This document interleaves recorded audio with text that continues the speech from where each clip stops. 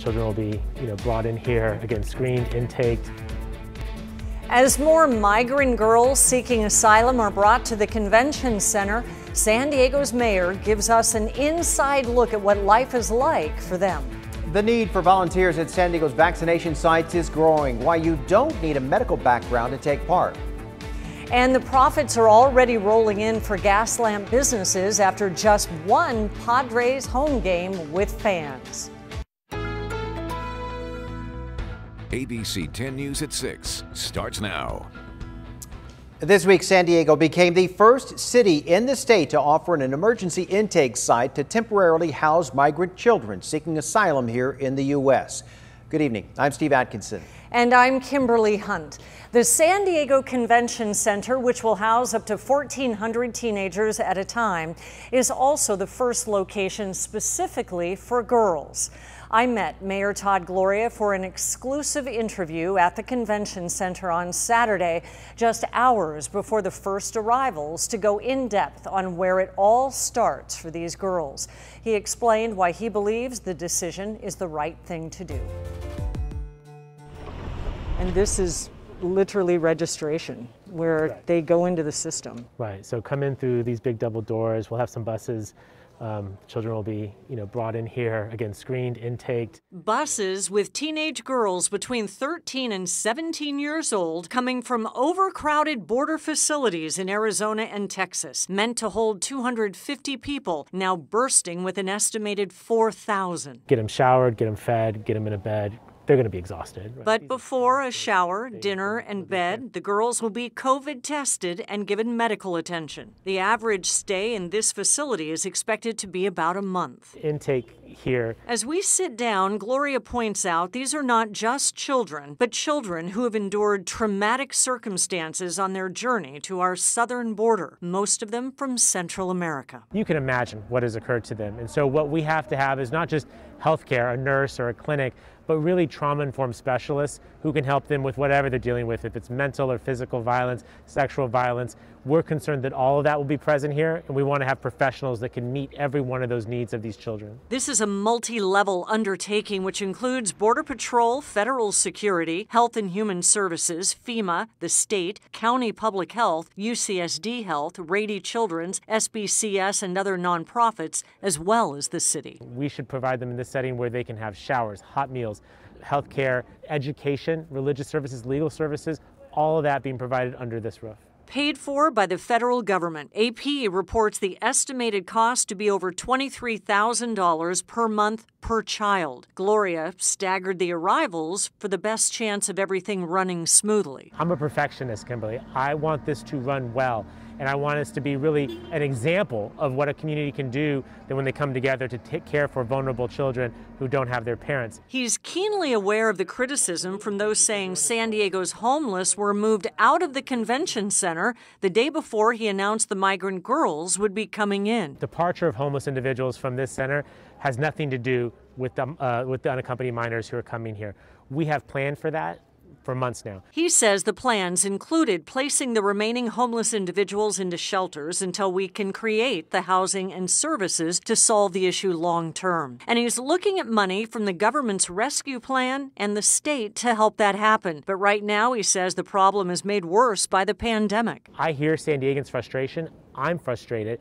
I'm not happy with the status quo. We're working to change it one of the best ways we can change the status quo on homelessness is to defeat COVID 19. Doing so, he says, will get our energy and money back onto other issues and allow us to get our shelters back up to capacity. All important issues, all issues he believes we can solve if we come together. I'll be back here over and over again to make sure that we hold our federal partners accountable. I'm not looking for any chain link fences. There's no tinfoil blankets. This is to be a home for our children for the next foreseeable uh, weeks and months. The contract with the federal government to house the migrant girls runs through mid July. Conventions are scheduled here in August, and the mayor stresses we need them to happen to get more San Diegans back to work and revive our economy. If COVID continues to stall conventions, Gloria left open the possibility the space could stay a migrant shelter a little longer. We will do something here that makes San Diegans proud of what we can do, knowing that at their core we are decent, honorable people who want to do right by children. This is what this effort, this initiative is intended to do. There are currently more than 17,600 unaccompanied migrant children in the care of the U.S. government. And many Republicans have been very vocal about opposing the convention center's use as a shelter for migrant children. Conservative radio host Carl DeMaio told ABC 10 News San Diegans shouldn't be asked to shoulder the burden of what he calls a failed Biden border policy. Uh, Joe Biden bears the uh, responsibility and should be held accountable for any injuries or deaths that are occurring uh, in this uh, very um, dangerous and and and toxic um, um, uh, industry of human smuggling. That's what this is. Um, what Todd Gloria also has done uh, is been a slap in the face to uh, uh, taxpayers and citizens here in San Diego. Todd Gloria chose to kick homeless out of the convention center in order to make room for illegal immigrant migrants. DeMaio says he doesn't believe the city had previous plans to end the homeless shelter at the convention center, as the mayor has stated. Now, we have put the whole interview with DeMaio on 10news.com. You're going to find it on the homepage with Kimberly Story. Flags at the White House are at half staff tonight for the police officer killed today outside the U.S. Capitol building. A driver rammed a car into two officers at a barricade, killing one officer. Billy Evans, an 18 year veteran of the force. The driver then got out and reportedly lunged at officers with a knife before being shot and killed. This has been an extremely difficult time for U.S. Capitol Police after the events of January 6th and now the events that have occurred here today. Law enforcement sources identified the attacker as 25 year old Noah Green. The extent of the injuries to the second officer are not clear, but President Biden said he was told that officer is fighting for his life. Turning now to coronavirus and another big step today in the attempt to reopen California. The state announced indoor concerts, theater performances, and other private gatherings will be allowed starting April 15th. To attend, people have to either be tested or prove they are fully vaccinated. The number of people who can attend will depend on what tier their county is in. Under our current red tier, venues up to 1,500 people are limited to 10% capacity. Larger venues can go up to 20%. Private events, including receptions and conferences, they are limited to 100 people indoors if they're all tested or vaccinated. Outdoor gatherings can have up to 200. All San Diegans 50 and up, they are now eligible for the COVID vaccine. With the number of people able to get the vaccine quickly growing, the number for volunteers that need is just as significant.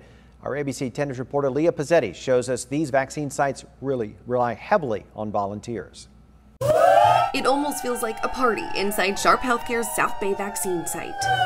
This group, cheering on freshly vaccinated people, are volunteers. It's good to be part of the community and part to give back. Lorena Monzon has already done more than 50 shifts since this site opened in January. She says she's seen the fluctuation in volunteers. Sometimes, you know, you see a lot of volunteers and then some days it's low. So we always need volunteers.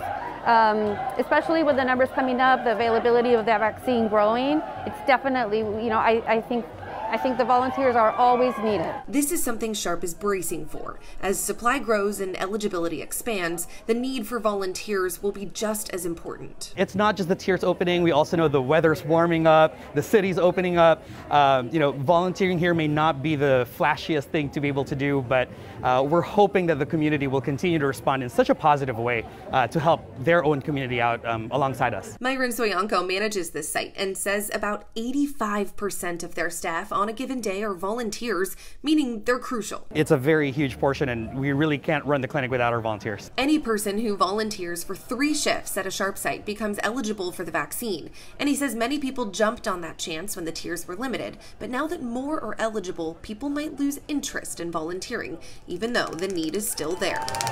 He says many do return for more shifts after seeing how fun volunteering can be asking others to now consider taking the time to make a difference. We're part of this moment in history in a way that positively affected our community. Leah Pezzetti, ABC 10 News. They make getting a shot fun. Anyone can volunteer at Sharp vaccination sites. People with no medical background are needed for checking people in and directing people to different stops. A big one day jump in case numbers. The county reported just under 500 new COVID cases today, while our test positivity rate ticked up to 3%. Another 13 people have lost their lives to coronavirus, bringing that total now to above 3,500. Easter might look closer to normal for some faithful San Diegans this year. Most services are still expected to be held virtually on Sunday, but some will be held in person. South Bay Pentecostal Church in Chula Vista will have its congregation indoors. This comes after the church's major victory in the Supreme Court in February, allowing churches to resume in person services.